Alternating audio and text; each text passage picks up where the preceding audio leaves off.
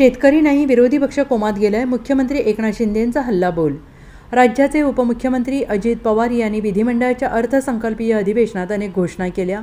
परंतु शेतकऱ्यांच्या मुद्द्यावरून माजी मुख्यमंत्री उद्धव ठाकरे यांनी शिंदे फडणवीस सरकारला धारेवर धरलं होतं. शेतकरी कोमात आहेत कॉन्ट्रॅक्टर मित्र जोमात असं उद्धव ठाकरे माध्यमांशी बोलताना म्हणाले होते. परंतु विधिमंडळ अधिवेशनाच्या शेवटच्या दिवशी मुख्यमंत्री एकनाथ शिंदे यांनी सभागृहात भाषण करताना ठाकरे यांच्यावर अप्रत्यक्षरित्या पलटवार केला आहे हे सरकार वाऱ्यावर सोडणार नाही. विरोधकांनी शेतकऱ्यांना काय दिलं याचा हिशोब मला काही माहीत आहे. मोदी गॅरंटीवर सगळ्यांचा विश्वास आहे. शेतकऱ्यांना हे सरकार वाऱ्यावर सोडणार नाही असं म्हणत शिंदे यांनी विरोधकांचा समाचार घेतला आहे. शिंदे सभागृहात पुढे म्हणाले की या राज्यात कुठल्याही घटकाला आम्ही वंचित ठेवलेलं नाही. सरकार चांगलं काम करत असेल तर चांगल्याला चांगलं म्हटलं पाहिजे अर्थसंकल्प. कसा वाचावा कसा समजून घ्यावा याचं पुस्तक देवेंद्र फडणवीसांनी दिलं आहे पुस्तक वाचल्याशिवाय प्रचिती येत नाही. सरकार चुकत असेल तर नक्की टीका करा. सरकारच्या चांगल्याला चांगलं म्हणण्याची दानत ठेवा. काहीजण आमदारकी वाचवण्यासाठी सभागृहात हजेरी लावतात. विरोधकांकडे मुद्देच नाही आहे टीका करताना विरोधकांची स्क्रिप्ट एकच असते. सकाळी आपल्यासोबत असलेला नेता दुपारी आपल्यासोबत राहील की नाही याची खात्री नाही. अजित पवार विकासाच्या मुद्द्यावर आमच्यासोबत आले. अर्थपूर्ण बोलण्यापेक्षा काहीजण निरर्थक बोलत आहेत. Bureau report S V N Marathi Mumbai.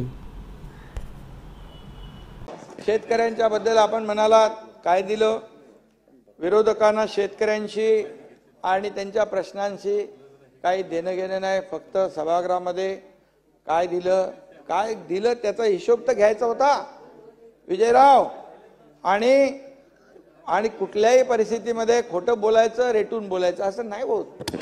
खरं ते खरं आहे. आकडे तर आमच्याकडे आहेत. आणि म्हणून दोन दिवसापूर्वी कोणीतरी म्हणालं शेतकरी कोमात आहे. अशी भाषा कोणी केली? शेतकऱ्यांच्याबद्दल अशी भाषा काढणं योग्य नाही आहे. शेतकरी आपला मायबाप आहे. अन्न अन्नदाता आहे. हे शेतकऱ्यांचा अपमान आहे. खेळ कोमात गेलं म्हणणं शेतकरी आज जो काय आहे तो आपला अन्नदाता आहे. आणि शेतकऱ्यांना हे सरकार कधी वाऱ्यावर सोडणार नाही. हे शेतकऱ्यांचं सरकार आहे कष्टकऱ्यांचं सरकार आहे. इथे कितीतरी लोक शेतकऱ्यांच्या कुटुंबात जन्माला आलेत माझ्या सकट. आणि म्हणून मी तुम्हाला एवढंच सांगतो अडीच वर्षाच्या सरकारने शेतकऱ्यांच्या मदतीच्या फक्त घोषणा नाही केल्या.